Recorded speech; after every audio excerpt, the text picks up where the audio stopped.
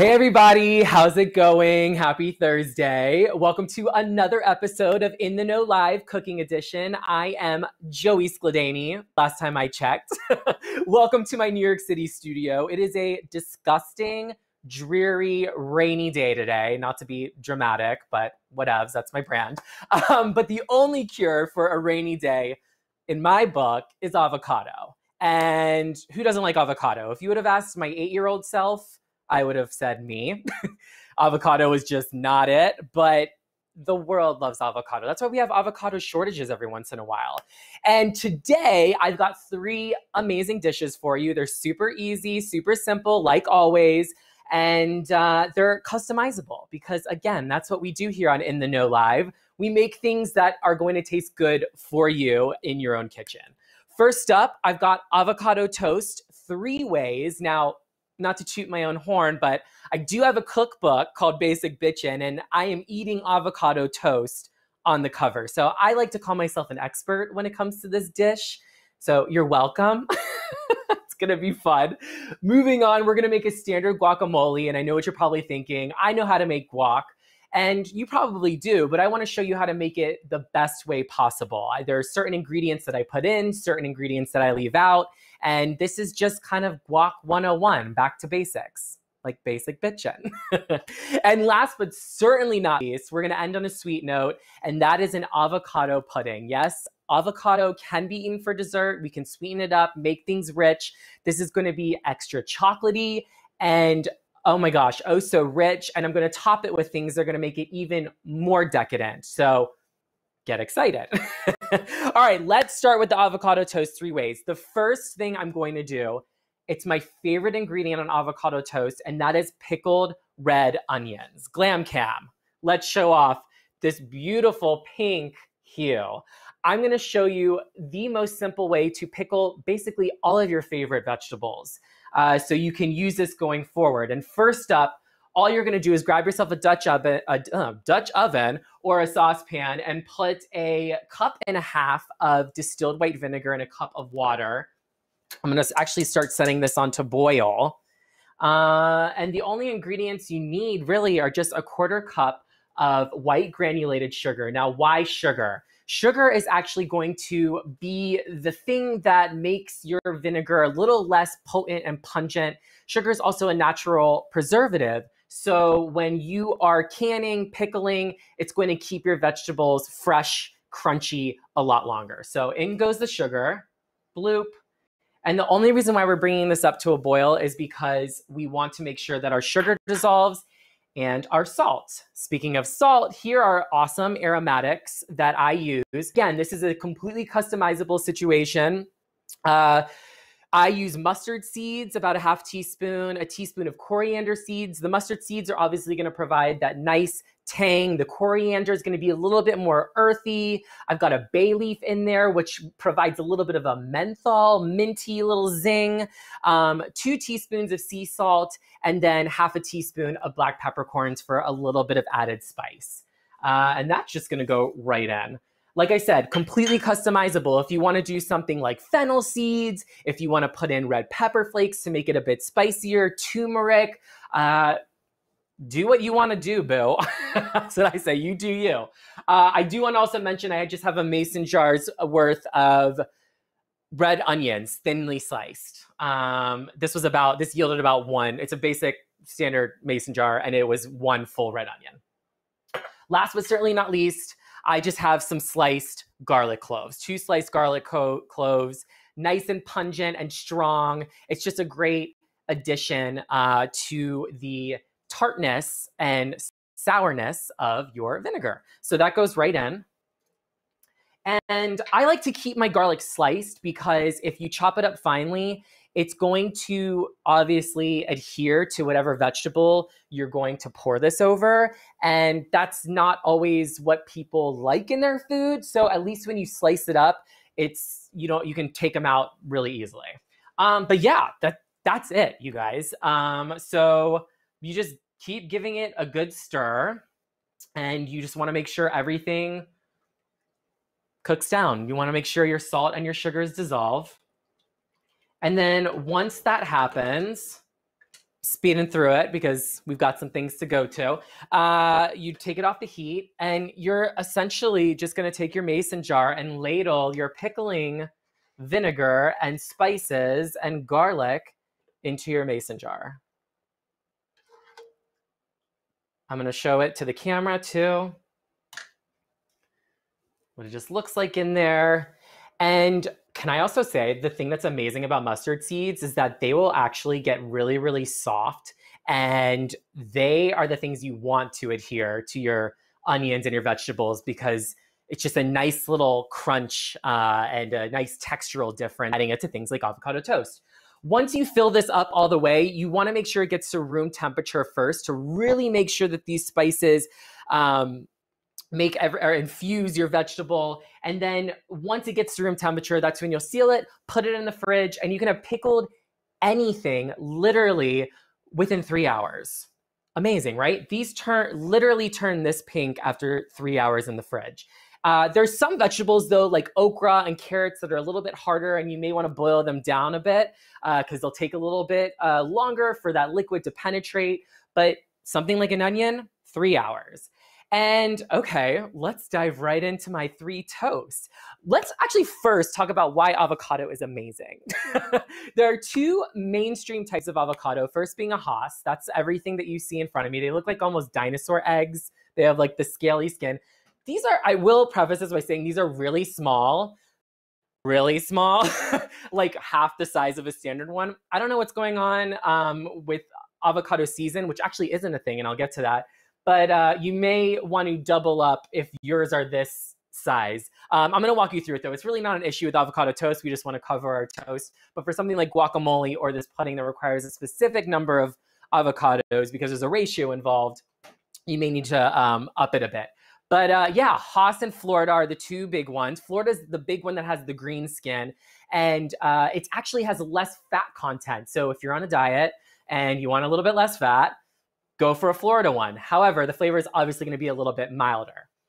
I should mention though, avocados are chock full of good fats, the monounsaturated fat that actually helps to lower your cholesterol. So, in limited quantities, these are the good fats that you want in your diet. They're also chock full of potassium, more potassium than a banana. Yeah, random fact of the day. Bet you didn't know that. and on top of that, they have a ton of fiber, which is great obviously to keep things normal, and it's good for your digestive health. Um, what else about avocados do I love? Oh, ripening. People are always like, oh my God, I hate that I got all these hard avocados that I can't use. There are two quick and easy ways to ripen an avocado faster. First, being an easy way, I don't always recommend it, but you can wrap it in aluminum foil and put it in the oven on 200 degrees for about 10 minutes, and it will actually soften the flesh. The second is to put it in a paper bag with an apple because an apple is going to release a natural gas called ethylene. I believe that's, I'm not an Einstein, but ethylene, I'm sure is the name. Um, and when it releases that gas and they're in one contained space, it's going to speed up the ripening process. How to tell if an avocado is ripe? Well, you want it to have some give, but you want it to also be a little bit soft. Like this is perfect. You have some indentation, but not so mushy that it's you know it's going to be brown inside. Another trick is to actually take one that has a longer stem and break it off and you'll be able to see sometimes if it's if it's lighter then it's usually ripe. If it's dark like the skin of the avocado, it's not ready yet. So quick and easy tips. You're welcome. All right, now I'm gonna slice some avocados. The first one we're gonna make is just a standard one. And I feel like everyone has this gadget now. It, to me, it looks like a toucan or something, but it's OXO's three in one avocado slicer. This part slices, this part pits, or actually, this part cuts it open in half, this part pits it, and this part slices it. Um, I will say again, these are really small, so it may not be the best tool, and I may switch to my knife. But literally, all you do is just go around your avocado like so split it down the middle, nice and green like we want it to be. Now, if this pit was bigger, I would take this instrument and I would put it over the pit of the avocado and twist. That's not happening today. so sorry, everybody. But um, what's nice about them being smaller is I literally can just plop it right out. in the sink you go. Uh, same situation here for the slicing. This nice little slicing device gives you nice even lines. If you're anything like me, you're a perfectionist. You want your avocado to look just as cute as it oh god how's i wording that? It needs to look as cute as good as it tastes. Whoa i clearly need to relearn how to speak. You want it to look as cute as it's going to taste that doesn't make any sense because things don't taste cute. Holy crap it is definitely a thursday everyone if i've ever seen one but yeah you would basically just go like this and you get perfect avocado slices but because this is so tiny I just prefer to honestly go in with a knife and do it myself. Same thing. But avocado hand slicing is a situation. um, I don't know if you read those articles a few years ago. Like people were literally going to the ER because they were slicing their hands open. We don't want that. Um, but for this first iteration, I'm just going to take these slices and pile them on my avocado toast. Uh, my bread, that's something I want to talk about. Now, bread preferences I know are it's completely dependent upon maybe your diet. We've got a lot of people who are gluten free. Some people like uh, something a little bit more soft. Some people like something that's re- can get burnt and toasted. Um, it's totally up to you. You can use whatever you want. I love Ezekiel bread. I, it's one of the healthiest on the market. And I have to tell you, pulling it out right now, this is like Bible approved. So if any of y'all are religious, like Jesus talked about this bread. Not really. It's called Ezekiel bread because the recipe is actually referenced in the Bible. I know, go figure. And I'm gonna they put this on the cover of their bag. Um, as described in the Holy Scripture verse, take also unto the wheat and barley and beans and lentils and millet and spelt and put them in one vessel and make bread of it. And that is what you get here with Ezekiel bread. There's no flour used and it's got every single essential amino acid. So it's five grams of protein per slice. I'm obsessed. I use it all the time. I actually don't own a toaster, BT dubs, because counter space is like very limited here. Um, so if you need to toast bread and you don't have a toaster, just put it on a baking sheet, put it in the oven 350, five minutes, flip it, five minutes on the other side, and you'll get that nice crispy bread. Okay, going back to my first iteration of avocado toast. This is my standard one. I've got my slices down. I'm now just gonna add some of these amazing pickled red onions. And um, I always like to add a protein. Now, an egg is my go-to. You can absolutely add bacon. Uh, I prefer a hard boiled egg. You can soft boil, you can fry it, you can poach it if you like that nice runniness. It obviously makes an amazing texture play. But I'm just gonna slice up some hard boiled egg.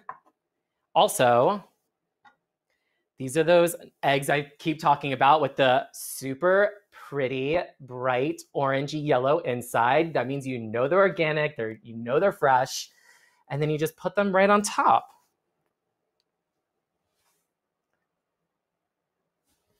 Okay, now this is where we get a little bit fun here. What is avocado toast, or at least a standard one, without some red pepper flakes? So I'm just gonna do a little bloop-de bloop on top. I also have some truffle salt in here. Yeah, I know, she's bougie. um, but yeah, I love adding, again, just different flavors.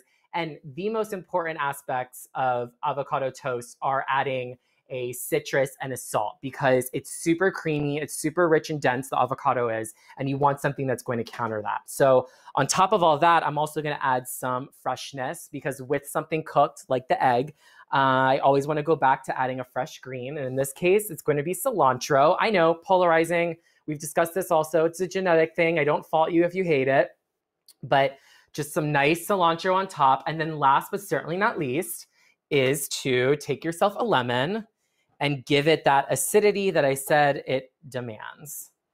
I'm just gonna show it to Glam Cam because I'm obsessed with this thing, and you just squirt some lemon right on top. Perfect. Avocado toast, version one. Second one, way more simple, but it's for our vegan crowd out there. And that is to just take a roasted garlic hummus. And um, I use hummus on everything in my life. I dip carrots into it, crackers. I, I just, I'm hummus obsessed. So any excuse to put hummus, especially on a carbohydrate, is a okay by me. What I like to do in this situation is then grab myself the world famous Trader Joe's everything but the bagel sesame seasoning blend because this is to make it taste just like an everything bagel, glam cam. Y'all know this. You can get it on Amazon. Uh, it's got sesame seeds, it's got onion powder, everything that's on an everything bagel, poppy seeds. What's great about putting this on hummus is that most hummuses, as you know, have tahini, which is essentially sesame paste, and these have sesame seeds in them. So it's kind of like meta because you're getting it in a bunch of different ways. And all I do is just shake some on top. Um, and then go in with some more of my avocado. This one I destroyed. Oopsies. It's not always pretty, but sometimes it's just as long as it tastes good. um, but I will say your preference when it comes to avocado toast is going to dictate this. If you like a chunkier, like mashed up version, a okay. If you like slices, like we did with the first one, that's fine too. Um, and then I also have chopped up some fresh green onions. So I'm just going to take this plate and put some right on top. So that's for all of my vegan friends. We don't want you to feel left out, even though I did dedicate an entire episode to you. but that's just to show you you can get a protein, uh, obviously through the chickpeas and the hummus, and not sacrifice amazing tastes and flavors. I'm gonna wash really quick. I feel like I'm gonna do this a million times because avocado gets all over you, it seems like, when you're dealing with it. Last but certainly not least, I love a lox bagel. Salmon, cream cheese, onions, capers, and that is exactly what you can do here. Uh, I'm gonna take myself another avocado, give it a cut, not slice my finger off. I don't wanna be one of those people. This is what a perfect one looks like. It's nice and creamy and shiny and no brown. So good on you, avocado. um, but this one I kinda wanna mash up a bit. So I'm gonna put this in my bowl.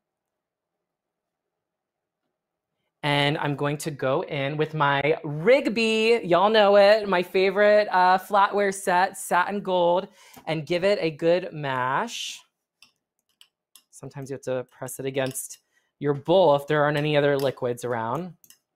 Um, but what you can do, this is a trick, take some lemon juice and it'll make the mashing process a hell of a lot easier.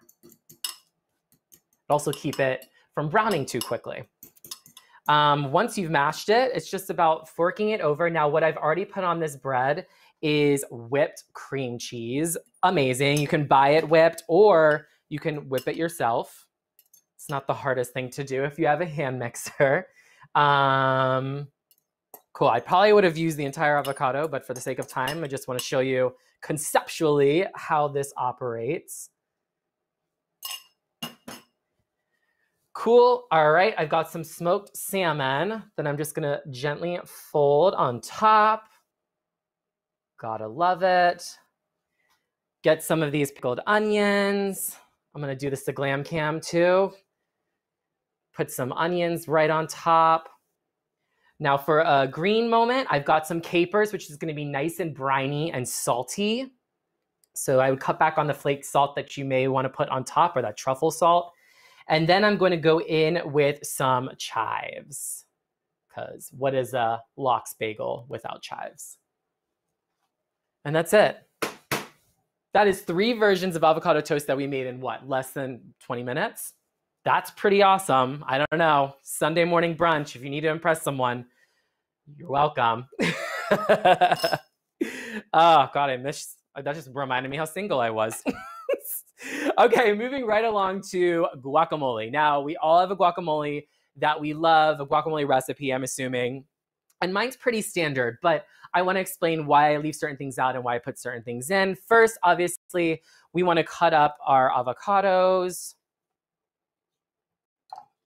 And, you know, you the proper way is to go in with your spoon and to spoon it out. I'll show you on camera like this and just, you know, dump them. Like that's cute. But I, I'm so gross. I just like to go in with my fingers and get messy. Um, probably not the best thing for camera. Um, but that's like, I really, this is me. Like, I said these look like dinosaur eggs. I am the dinosaur in this room. like Velociraptor esque when it comes to going through my avocado. I know people are probably watching this being like, what the heck? Or no, y'all probably can relate because what do I always say? Professional eater, not a professional chef. So I do what y'all do. I'm not here to be Emeril Lagasse. um, but yeah, you want to just take these avocados and put them in your bowl. We're taking the pits out. This is like a mess, but I love doing it this way. nobody has time for these. Um, actually, why am I washing my hands? I have two more. Um, nobody has time for this spoon situation. Also, whoa, I'm the cutting a lot of avocados today. My recipe typically calls for three, um, but because these are so small, that's why I'm going to put four. And actually, I may just keep it to three today because I think this is yielding a lot more flesh than I thought it would. Um, the skin's quite thin. So after this, I'll move on to my other ingredients. Sorry, I'm messy. I told you. You just also want to make sure that that um, stem is not in any of these. Okay, we've got our avocado in the bowl. Let me just do another quick rinse.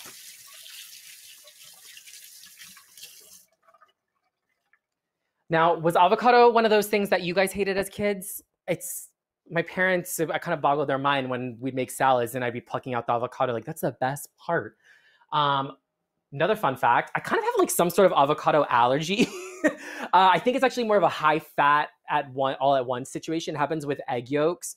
I can't just like bite into avocado toast all the time because I immediately get nauseated. It's like I need small bites. Guac, though, I'm fine with. Go figure. I don't know. Is there an allergist out there that wants to explain it to me? Maybe a gastro. if so, I'll welcome your services. Okay, moving on. I'm gonna do one Roma tomato. Now, Roma's great because it's a little sweet and it's very fleshy. So it's gonna provide um, some more moisture to your guacamole. Um, and you just wanna give it a good chop.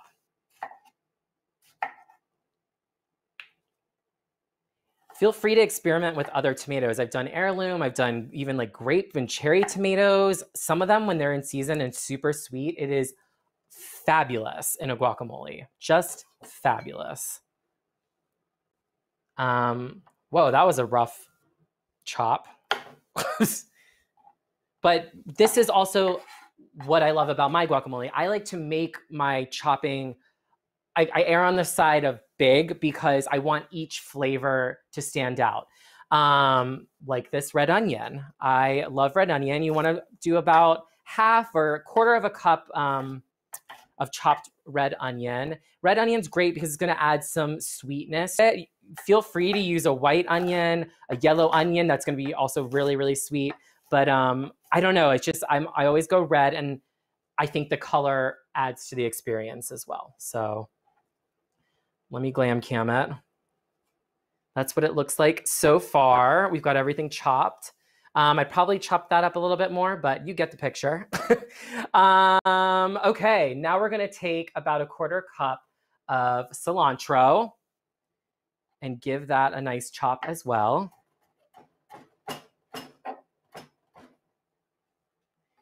And even if you're spice averse, you need to absolutely put in one jalapeno. Just remove the seeds. It makes it not spicy. If you really can't tolerate this, then I recommend using a hot sauce that's going to be vinegar based and it's going to dilute the taste. Okay, I use two lemons worth of juice. Why lemon instead of lime? Lemon is actually not as strong as lime juice. So again, it allows that creaminess to really shine as opposed to the lime really just being too acidic. Um, and I don't want it to overpower. I really want the avocado to shine here. I want the tomato to shine here. I want you to crunch into the jalapeno and not have it super diluted with an acid. So uh, I'm team lemon all the way when it comes to guacamole. That's one of my secret tricks. And then last but certainly not least, we've got half a teaspoon of cumin and half a teaspoon of sea salt. Sea salt is a must. It's going to counter the spice, it's going to counter the creaminess of the avocado. And then from there, you're just going to take your, again, Rigby fork and go in and mash it. Um, the best type of guacamole is not one that is completely pureed, okay? Um, in my opinion, I would say in most uh, people's households, you would agree. And that's why a fork is much better than grabbing a food processor. So you literally you just go in um, and give it some nice, you may need a little bit of elbow grease. This one may not have been as ripe as I want it to be, but what's good is that the liquids are gonna help to break it down. You just go in with your fork, smash it up, get a bicep workout because I'm not going to the gym today. It is way too rainy. I'll tell you that much. no, ma'am. This is my arm workout of the day. Um, and that's just how it is. If you have a potato masher, it works just as well. I clearly like to make things more difficult for myself. Um, but yeah, another question people have is Joey, you're obsessed with garlic, you're Italian. Why is garlic not in this recipe? And um, good point again, it just goes back to I think garlic overpowers a guacamole if you put it in it. Um, I'd rather have the sweet red onion add that uh, extra level of uh, sharpness. And um, yeah, that's just my vibe. But if you want garlic, by all means, put it in. Cool. Look how quick that was. That's like perfect consistency. You've got chunks of the guacamole or chunks of the avocado. And um, yeah, a fork. Easiest thing. Don't do a food processor, people. Save your time and whatever. Um, okay, how do I serve this? With tricks, of course. And I love this cute little dish. It's uh, from Amazon Stoneware Collection. You put the dip right there and scoop out. You can put carrots, jicama, whatever you want to dip into your guacamole. But what's even more exciting is what I got my hands on and that is the guac lock, folks. if you want fresh guacamole, this contraption is the way to go. What you basically just do is fill the top and uh, lock in the three sides and put it on top of this thing and you just push down and what it's going to do it's going to put the guacamole or make it force it upward while also eliminating the air out of the top and then once all of the air is out and everything's compressed, you just lock it on top, put it in your fridge. You'll have an extended life for your guacamole. If you don't have one of these handy contraptions, there are many other things you can do. Obviously, the acidity of your lemon or your lime is going to help preserve it and not make it brown. But you can also put the pit in, that makes it last a little bit longer. Or this is a really random tip that people don't realize you can actually add a bit of water to the top of your guacamole and it's not going to go into it. And once you remove it from your fridge and you want to eat it, you just dump the water out, scoop out your guacamole, and it tastes fresh. So, yeah. But um, yeah, let's just make this cute and scoop some out. Sorry. I keep forgetting I have this wonderful glam cam. She's pretty. Look at that. I love those chips too. Colorful. It's a rainbow. Very on brand for me. but yeah, super simple. Okay, let's move on to dessert. I know we're running somewhat short on time, so I want to make sure you see this. Super easy. First, you're going to take, uh, usually it's two, I but let's do two. Um, you know what? I'm kind of stupid right now because I don't want onion flavoring to get into my pudding. So I'm going to use a different knife. um, yeah, you're just going to take two of your avocados. I need like an like a personal avocado slicer. Producers. that would be nice. That would save a lot of time, right? Or maybe I it's hard because you don't want to like pre-slice your avocados either because if you leave them out for too long, they're going to be brown I guess it wouldn't have mattered with this recipe because we're adding chocolate to it anyway. But yeah, this is my disgusting way of, again, opening up an avocado. Um, but this is a really awesome recipe. If you are vegan, especially, I'm using uh, flaxseed milk. So um, it's going to keep things vegan. You can, by all means, use cow milk. Um, if you're on a diet, this is also a great diet food because you get to control. That was the pet. we'll get that later. uh, you can use whatever sweetener you want. I am going to be using maple syrup today because I like that nice, robust flavor. But you can use stevia, you can use honey, you can use actual sugar if you're treating yourself, whatever you want to do. But first, you're taking those avocados, you're putting them in, in your food processor. You're adding that milk I told you about, flaxseed milk for me. I bet a macadamia nut milk would be amazing, really creamy. You're gonna then take a teaspoon of vanilla extract because vanilla goes extremely well with chocolate and brings out all of the chocolate notes and flavors.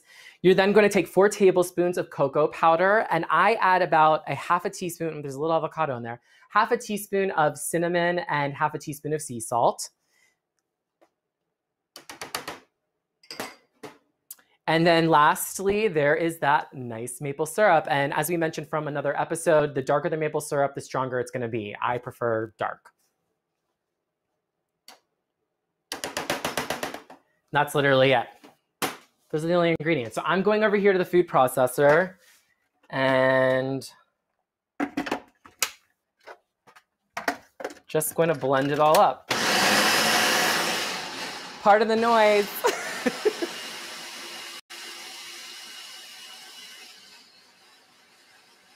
I don't think you'll be able to hear me if I'm talking right now. All right, that should do it. Wonderful. Yes. Okay. I'm going to scoop it out. Let me take out this. Okay. I have made the most ginormous mess in the entire world. um, also, this is customizable as well. If you want something a little bit thinner, add more milk. If you want it thicker, almost mousse like, add less milk, plain and simple. So I'm going to scoop this out to show you how it looks just like a pudding. These are those great Kook uh, plateware as well, the Kook uh, wide bowls. Same for that serving tray. I love the line. Again, cook with a K, like for Kardashian.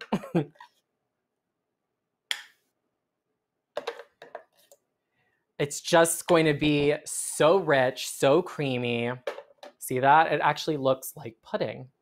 Doesn't taste like avocado, I promise you. And my favorite way to top this is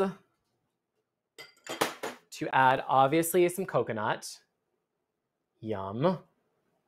Some pistachios, because why not add three layers of fat on something that's already fattening? it's dessert after all. And my secret hidden ingredient, not so hidden because I'm revealing it now, is my cacao nibs.